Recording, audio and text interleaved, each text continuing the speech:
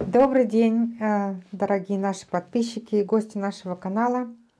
Я хотела записать короткое видео, как я делаю хлеб с травами. Очень легко и просто. Тесто замешивается в этом случае. Я взяла ржаное с пшеницей тесто, замешала и сейчас добавлю травы. Нарезала здесь, которые мы травы собирали.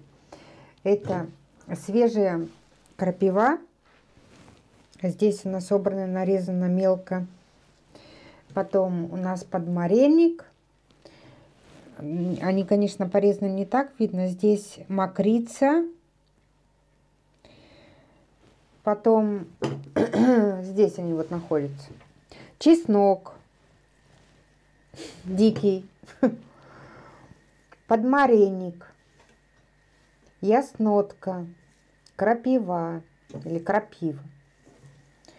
Вот. И мокрица, это я уже сказала. Это все. И мандаль, э, миндальные орехи.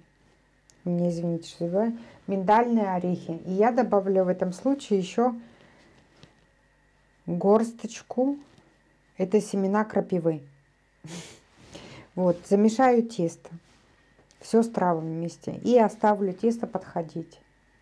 И после чего, когда хлеб выпекается, ну, стоит, все, каждая хозяйка знает, 40 минут, потом еще раз замешивается, потом формируется и ставится печь. Я не буду сейчас говорить, потому что для теста очень много рецептов. Я просто хотела вам э, как бы э, разнообразить вашу кухню. Что, потому что травы, запекаясь с тестом, с мукой, соединяясь с клетчаткой, выделяют тоже эфирные масла, соки, микро- и макроэлементы. И это все будет в хлебе. И вы получите не просто хлеб, а насыщенный витаминизированную буханку. Туда и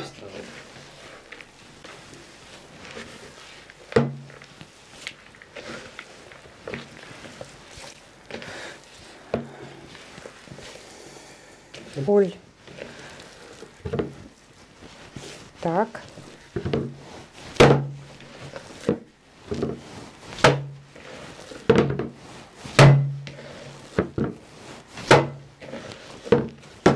Упс. Стой.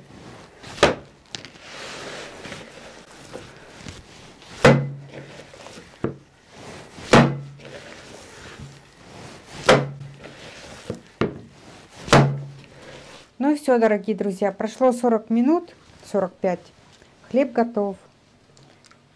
Вот так он выглядит. Еще горячо. Хлеб должен постоять. Но внутри не буду сейчас разрезать. Но вот так выглядит хлеб. Приятного аппетита. Пока-пока.